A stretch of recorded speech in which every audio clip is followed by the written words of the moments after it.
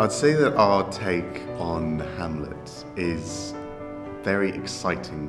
So a lot of the scenes which um, there's kind of potential humour or uh, just excitement, like sword fighting, dancing, music, uh, play within a play, of course. Uh, and I think a lot of those scenes are really, really give energy uh, to the play and really like drive it through.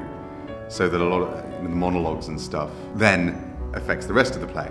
The whole play has this wonderful sense of uh, energy and movement uh, and excitement, which never dips.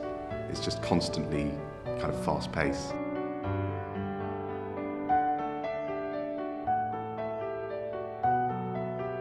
The most challenging part of playing Hamlet is getting the balance right between the sort of silliness and the madness and when he's very serious. Because even though, for all his intelligence and all his plotting and angst, I think was the word we used a lot, um, in many ways he's, he's very childlike. Particularly, I think he gets quite excited by you know the, the prospect of the ghost and the prospect that there's there's more to life than just the everyday um, and it's it's finding ways of showing when he's a bit manic just because that's who he is and when he's actually putting on a performance. So we're performing in Durham Town Hall, uh, which is a wonderful location for Hamlet. It's in, in, keeping with the period of the play. It's very traditional, uh, which is exciting.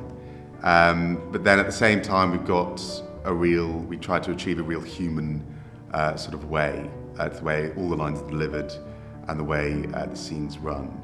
But at the same time, we've got uh, you know, seems like the players and everything with traditional dances, uh, traditional music. Uh, so there's a nice sort of balance between those two, and hopefully we'll just make it all more accessible and enjoyable.